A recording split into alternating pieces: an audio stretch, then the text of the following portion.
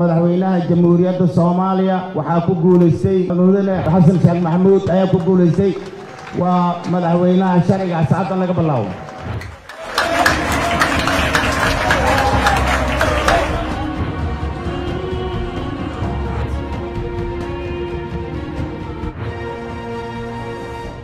Isbeddel weyn ayaa ku yimid sooyaalka hogaamineed ee dalkeenna ee soo tixnaa lixdankii sane ee la soo dhaafay taariikhda markii ugu horraysay ayuuna dib u hantay jagada ugu sarraysa dalka. Madaxweyne hore u soo maamulay kaa oo noqday mudane xasan sheekh maxamuud madaxweynihii siddeedaad ee soomaaliya. Hadda wixii ka dambeeyana ah madaxweynaha tobanaad ee jamhuuriyadda.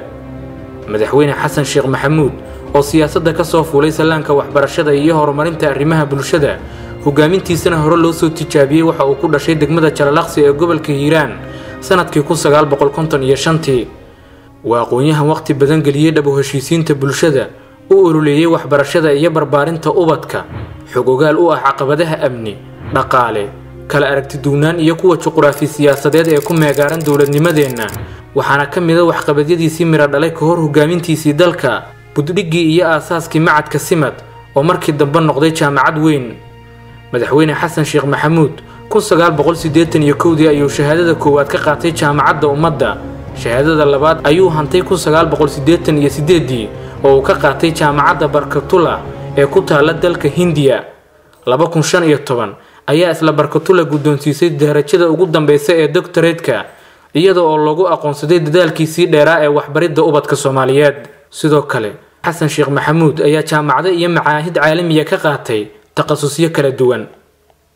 Ololeeyo ka shaqeeya horumarinta arrimaha bulshada dib u heshiisiinta dhismaha kaabayaasha dhaqaalaha iyo cilmi baare ayaa ku suntan sooyaalkiisa taariikheed ee la diiwaan geliyey ka hor hogaamintiisii dalka.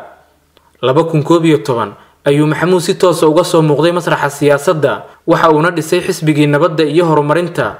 Xubnaha xisbiga ayaana u doortay abriil laba kun koob iyo toban hogaamiyaha xisbiga ee saddexdii sane ee ugu horreysay. Bishii agoosto laba kun laba iyo toban ayaa loo doortay xildhibaan ka tirsan golaha shacabka baarlamaankii sagaalaad ee jamhuuriyadda tobankii toban ayaa xildhibaanada baarlamaankii sagaalaad u doorteen madaxweynihii sideedaad ee dalka.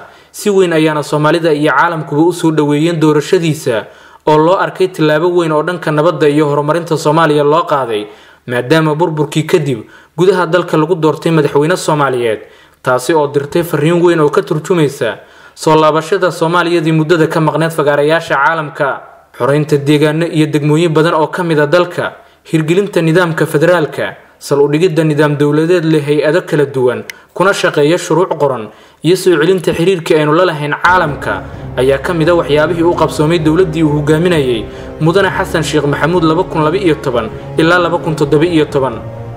maanta mar kale dowladdiisa waxaa horyaalla ajendayaal ay ka mid yihiin xasilinta iyo xoreynta dalka dib u heshiisiinta dhammaystirka dastuurka doorashooyinka iyo dhismaha hay'ado dowladeed oo hirgelin kara.